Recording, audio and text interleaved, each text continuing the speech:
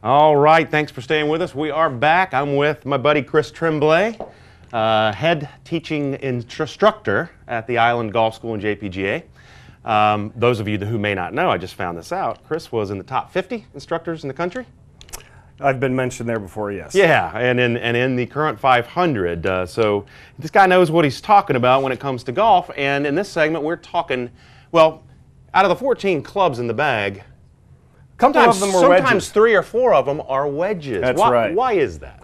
Well, there's so many things to do around the greens today. As time has gone on, green speeds have increased, dictating maybe a few more creative shots around the green. Starting in the late 80s, sand wedges started to go from 56 degrees to 58 degrees to 60 degrees. Titleist even makes a 62 and a 64 now. So we have a lot of options around the green. So one thing I'd like to talk about today is maybe what is the best setup for your bag. Personally, I have, if I may borrow this for a sec, Daniel, I have a pitching wedge in my bag that is, right here, we'll bring out the pitching wedge. The pitching wedge right here is about 47 degrees. Then I have a 52 degree wedge right there and a 56 degree wedge. And on special occasions, based on how severe the golf course is, I have a 60 degree wedge. Why would I want to go ahead and carry all these wedges? Well, it depends on the lie my ball could have around the greens and the shot I'm trying to hit. Like I said, I only put the 60 degree wedge in my bag if I'm playing a golf course where maybe I don't need one of my hybrids because that's usually the, cour- or the club that I throw out.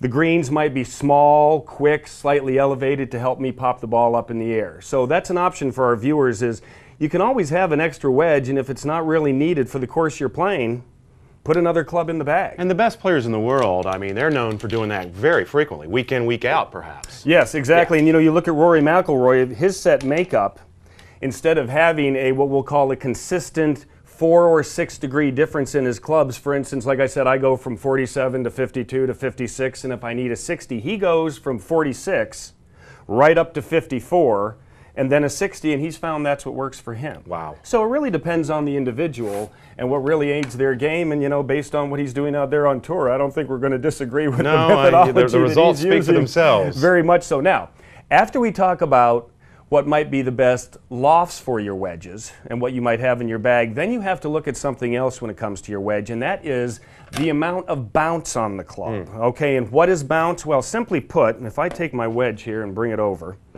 you're going to see when I hold it straight up and down how the leading edge, this part of the club right here, is up off the ground when I hold the shafted vertical. What's on the ground right now is what we call the trailing edge. If you have a club with a little bit more bounce, the club is going to be more like that.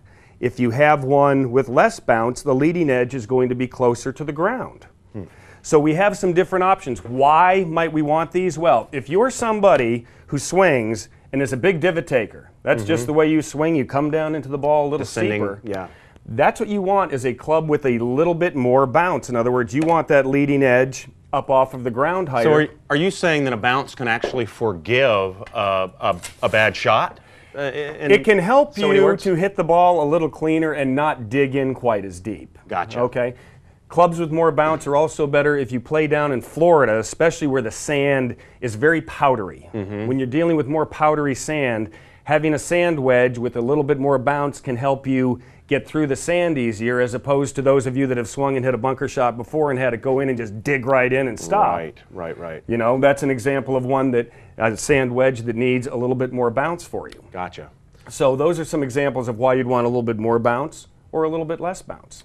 So uh, testing the texture of the sand is going to determine some, sometimes how, you, how you may play those shots. And definitely for the more serious golfer that you know is playing in tournaments and really is into his game, it's not a bad idea if your 56 degree club or your 58 is your sand club, maybe having one with about 14 degrees of bounce and one with about 8 degrees of bounce because when you get into sand that's a little bit more wet, a little tighter, a little bit more like clay, just for lack of a better term. Right.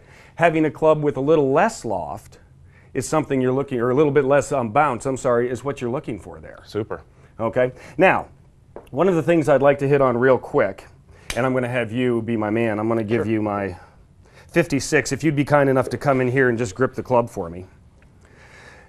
Around here, we have a lot of opportunities for your ball to sit down around the green. In other words, the ball is almost sitting down on the dirt, but you're right next to the green and you've got a shot where you've got some green. So I want you to give this a try at home. Instead of swinging your wedge, more in a swinging fashion on these little chip shots you have, I'd like you to go ahead and start to employ your putting stroke a little bit to help you get these shots not only a little bit cleaner, but also get them a little closer to the hole. So Daniel, if you'd be kind enough to get your feet just a touch closer together for me, take your putting grip. Is that your putting grip? Um, no. Take your putting grip for me. Okay. We're going to go ahead and put the club back here so it's even with your right foot and put your hands up by your left thigh. Okay. Okay. Now, what I'd like you to do for me, now that I've got it set there, I'm going to take this away. And I'd like you to make your putting stroke for me right there and tell me what that feels like. Go ahead. It feels stiff. It feels stiff, yeah, and this is where people get in a lot of trouble with their wedge play, is they tend to get too wristy.